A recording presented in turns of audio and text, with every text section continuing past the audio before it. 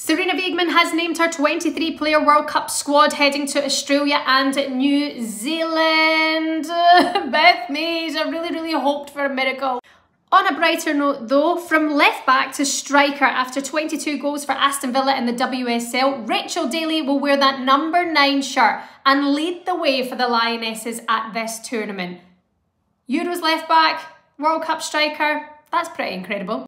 No Maya Le Tissier and no Nikita Parris, two players from Manchester United who I think we all expected to see in the squad.